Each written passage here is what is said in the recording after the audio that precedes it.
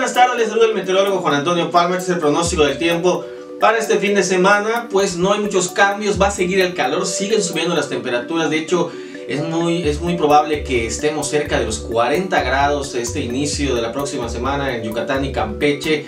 Es, continúa este dominio anticiclónico, ahorita les voy a explicar qué es lo que tenemos. Aquí el meteográfico muestra la situación que tendremos para el día de mañana. Bueno, este fin de semana temperaturas entre los 30 y 35 grados Celsius en general en toda la península, eh, cielo parcialmente nublado, tiempo estable también en la mayor parte de la península.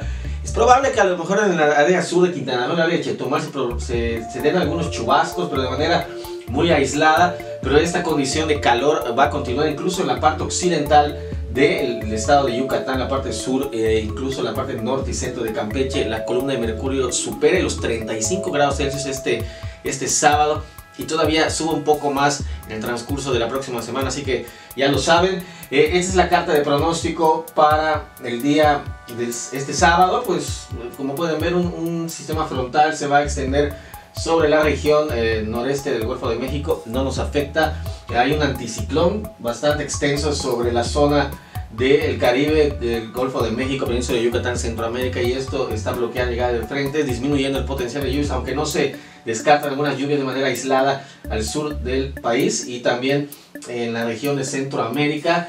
Eh, este anticiclón también pues genera cielos despejados por la noche y esto favorece el enfriamiento radiativo y, eso hace que refresque un poco las temperaturas por los amaneceres, por la noche y al amanecer. Para el domingo la misma condición, circulación anticiclónica sobre la región del Caribe, Centroamérica, Golfo de México, sureste, centro del país incluso. Eh, con algunas lluvias de manera aislada. Un nuevo frente frío estaría llegando a la parte norte de nuestro país. Eh, este sí va a generar allá en esa región algunas nevadas, algunas precipitaciones, pero ahí se va a quedar, ahí se va a quedar porque el anticiclón no le va a permitir llegar. Para el día lunes la misma condición, dominio anticiclónico, es bastante extenso el anticiclón, es, es poderoso y esto va a hacer que se quede varios días en la zona, influyendo en nuestra región y se mueva muy lentamente, todavía no se estará desplazando, se va a quedar en la misma zona.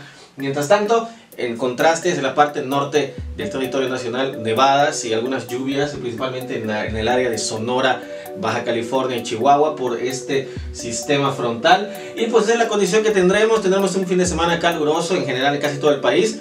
Tiempo estable, la península de Yucatán, temperaturas cercanas a los 40 grados, tómalo en cuenta. Les deseo una excelente tarde.